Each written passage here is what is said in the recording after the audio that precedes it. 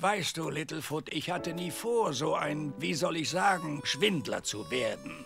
Es ist einfach passiert. Als ich jung war, da war ich ziemlich schüchtern. Nicht zu hören und kaum zu sehen.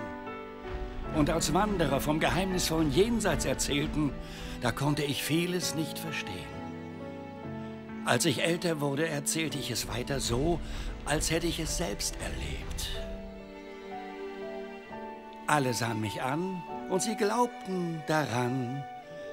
Nur du, mein Freund, du nicht. Deshalb hatte ich es mit dir so schwer, Littlefoot.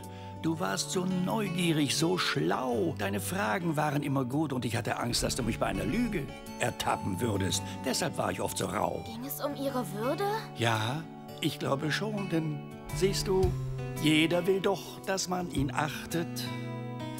Jeder will gern wichtig sein. Jeder will nur zu gern im Scheinwerferlicht stehen und alle hören ihm zu, ob groß, ob klein. Ist man auch gerade aus einem Ei geschlüpft? Oder ist man schon großväterlich? Jeder will, dass man ihm zuhört, ihm ganz allein. Damit meine ich auch mich.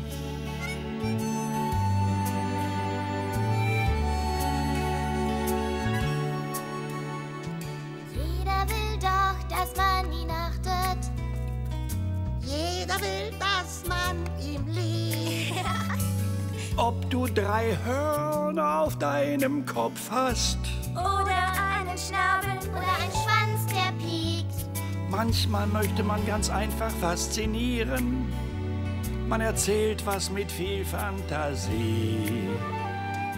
Jeder sagt mal Dinge, die nicht ganz stimmen. Jemand, der so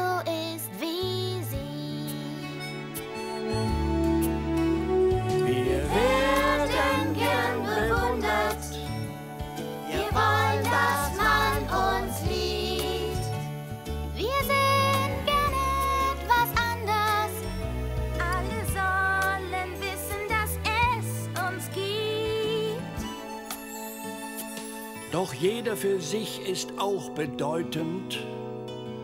Das habe ich gelernt. Jedes Wesen hat seinen eigenen Platz. Im Nest. In der Herde, in der Familie. Achtung und Respekt kann man leider nicht erzwingen. Das verdient man sich dann und wann. Wer hätte gedacht, dass ich nach all der Zeit noch so viele Dinge lernen kann?